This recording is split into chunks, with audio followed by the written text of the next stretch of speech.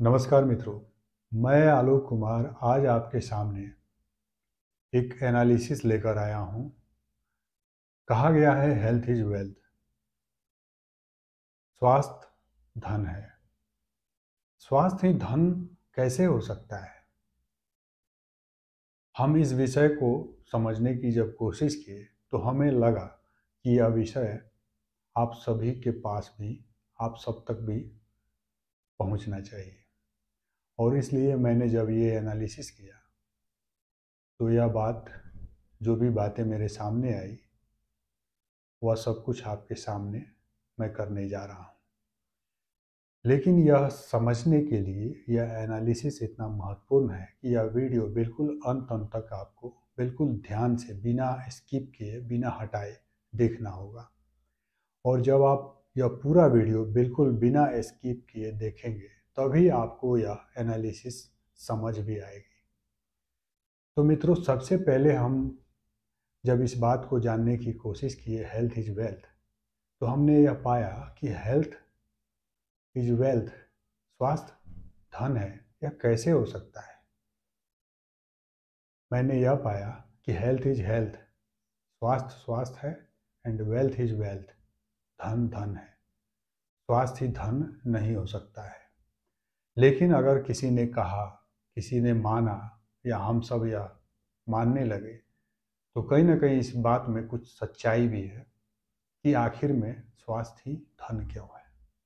तो यह बात भी हम आपको समझाने की कोशिश करेंगे, लेकिन सबसे पहले जो मैं आपको बताना चाहूँगा, वह है हेल्थ इज़ हेल्थ स्वास्थ्य स्वास्थ्य है।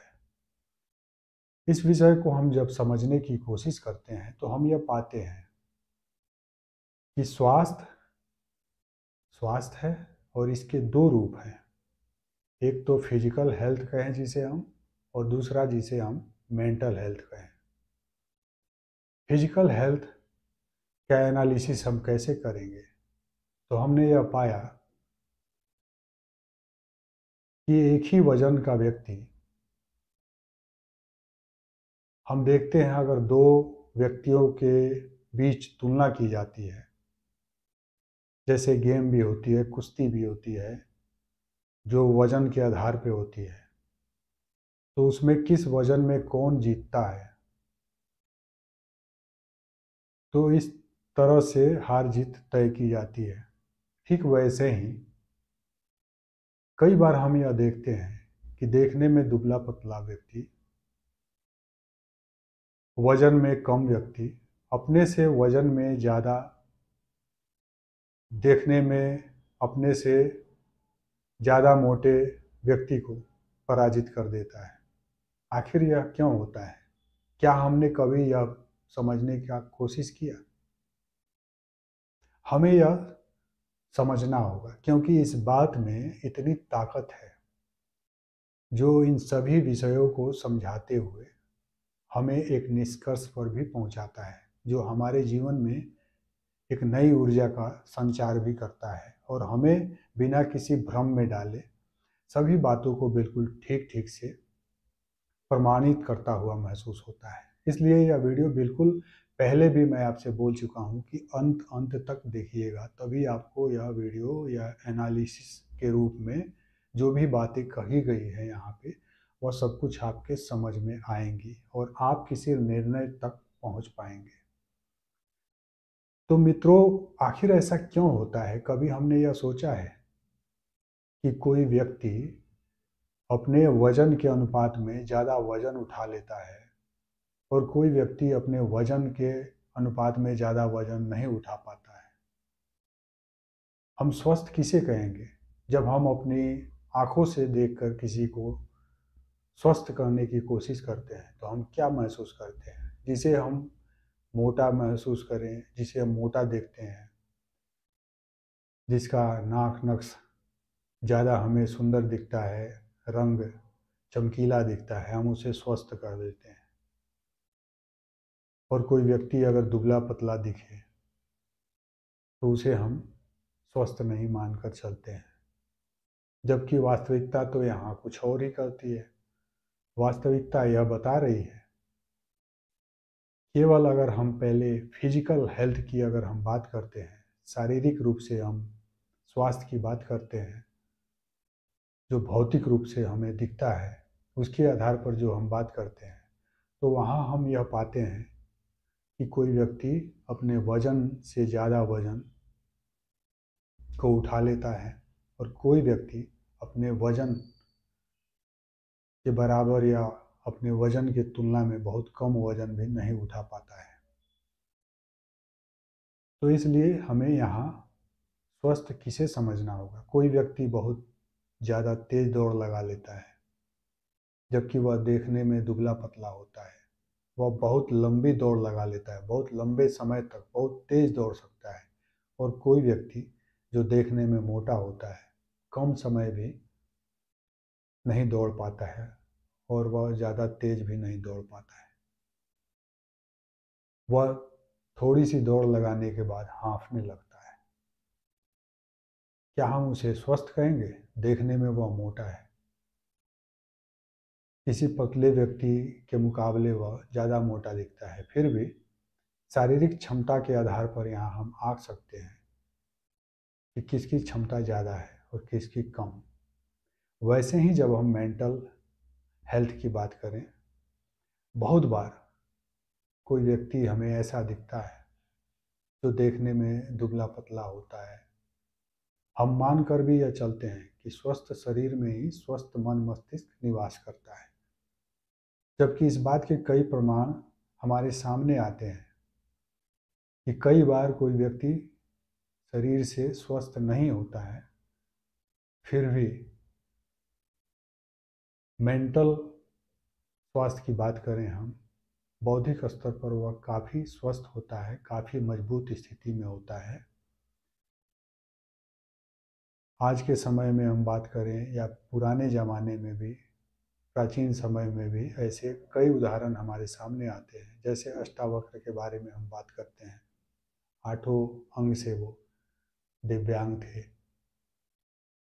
फिर भी उनकी जो बौद्धिक क्षमता थी उनका जो ज्ञान था, जो नॉलेज था, उसकी बातें आज तक की जाती है। तो वे उस समय के जो लोग भी थे, बौद्धिक संपदा के हिसाब से, उनमें कहीं ना कहीं सबसे ताकतवर थे। तो इसलिए हमने मेंटल हेल्थ और फ़िज़िकल हेल्थ को दो भागों में बांटा और दोनों को बिल्कुल अलग अलग रूप में समझने और आपको भी समझाने का कोशिश करना ज़्यादा जायज़ समझा। और इसलिए मैं ये बात यहाँ कर रहा हूँ। तो वहाँ पे हम यह देखते हैं कि जो मेंटल हेल्थ होता है, हम किस बात को किस स्तर पे समझते हैं और दूसरे किसी को किस तरीके से समझा पाते हैं। कई बार हमारी बातें, बहुत से लोगों को इतनी कड़वी लग जाती है कि हमें विरोध का सामना करना पड़ता है। आखिर ऐसा क्यों होता है?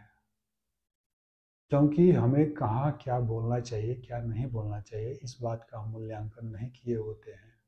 हमें यह समझ नहीं होती है।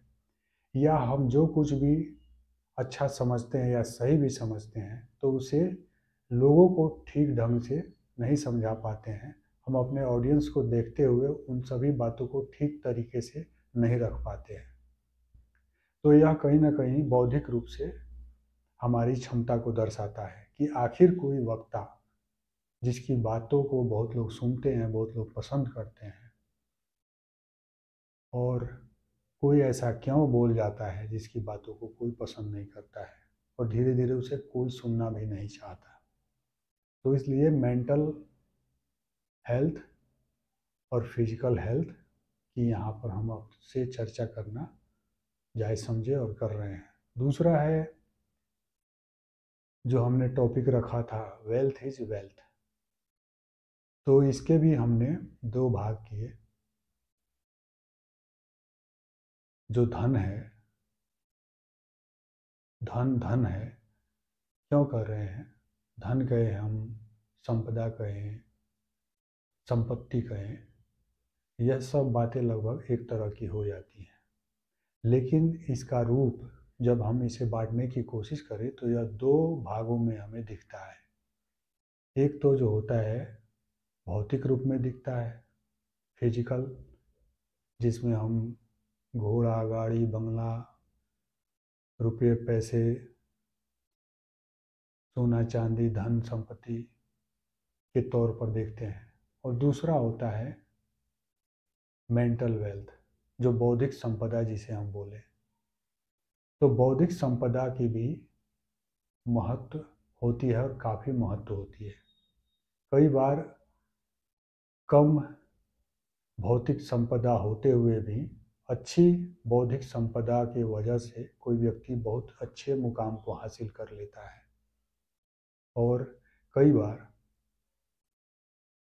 बहुत ज़्यादा बौद्धिक संपदा न होने के कारण और भौतिक संपदा बहुत ज़्यादा होते हुए भी कोई व्यक्ति ज़्यादा सफल नहीं हो पाता है या असफलता का शिकार भी हो जाता है। तो कहीं ना कहीं हमारा यह जो वेल्थ है, जो भौतिक रूप में हमें दिखता है, यह मेंटल वेल्थ के रूप में भी जुड़ा हुआ है हम सबके साथ। अब यह अलग बात है कि कोई व्यक्ति मेंटल वेल्थ के तौर पे, बौद्धिक संपदा के तौर पे इन सब चीज़ों को ज़्यादा महसूस करता है। वास्तव में कोई व्यक्ति केवल भौतिक संपदा को हासिल करने में अपने पूरे मेंटल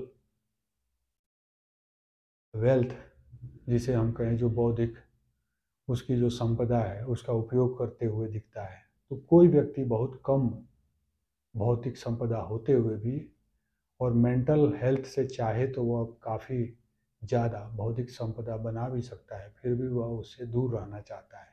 क्योंकि उसे पता है कि जो भौतिक संपदा है, उससे बनाते हुए और लगातार उसे और ज़्यादा बढ़ाते हुए हम किस तरह के उलझनों का और सामना करते हैं और वास्तव में वह हमारे लिए कितना सुकून देने वाला है या नहीं देने वाला है, वह इन सब बातों को महसूस करता है।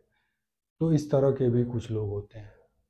तो इसलिए हमने यहाँ पे जो यह विषय पे आपसे बात करना जायज़ समझा, ये इस विश्लेषण के साथ आप भी समझ सके, यही हमारी कोशिश है। तो जो हेल्थ इज़ वेल्थ कहा गया है, स्वास्थ्य धन है, स्वास्थ्य ही धन है, क्यों माना गया है, इस बात पर मैं आता हूँ।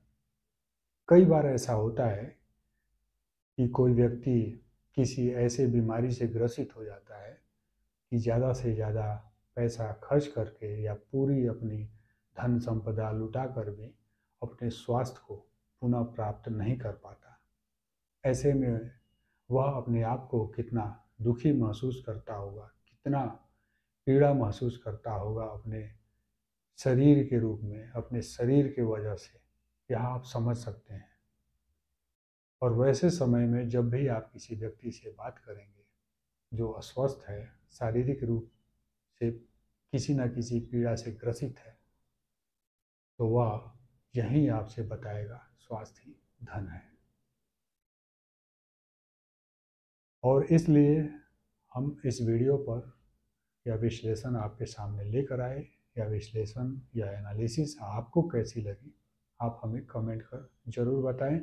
और अगर यह एनालिसिस आपको अच्छी लगे तो इस वीडियो को लाइक करने के साथ साथ आपने हमारा चैनल अगर अभी तक सब्सक्राइब नहीं किया है तो यह चैनल भी सब्सक्राइब ज़रूर कर ले, ताकि जैसे ही कोई वीडियो पब्लिक हो तो उसकी सूचना भी आप तक पहुँचती रहे। आप देखते रहिए। नमस्कार।